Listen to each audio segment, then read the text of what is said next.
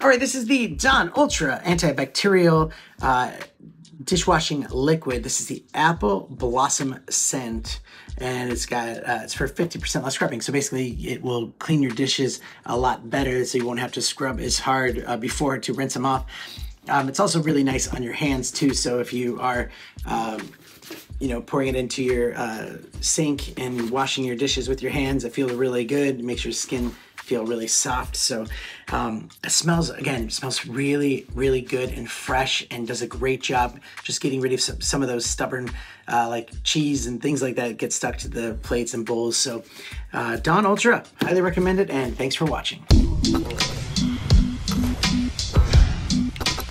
Now, right.